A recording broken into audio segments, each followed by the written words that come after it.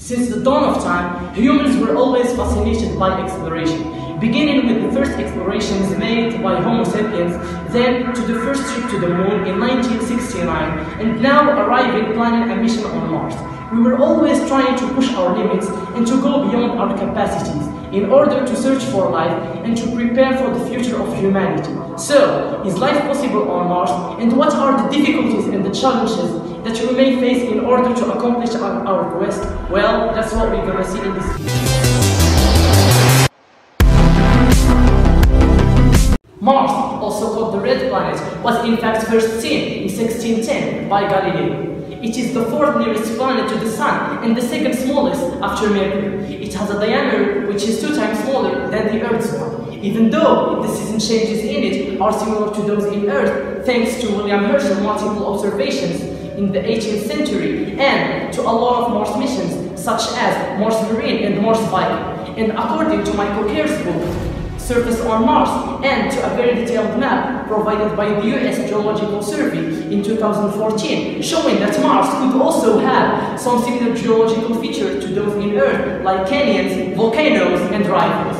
But despite all these factors, it is still hard to think about this possibility. First, because of the long distance of the trip, approximately 2.5 years, and the risks that astronauts could be exposed to, such as radiation and lack of resources. Secondly, because of the distance between Mars and the Earth, which is variable. And that's because Mars turns slower on the Sun than the Earth does, exactly 687.2 Earth days. Finally, and most importantly, Mars' atmosphere, which is rich by 96% of dioxide of carbon and very poor of oxygen. So, the first settlers will need an enormous quantity of bottles of oxygen.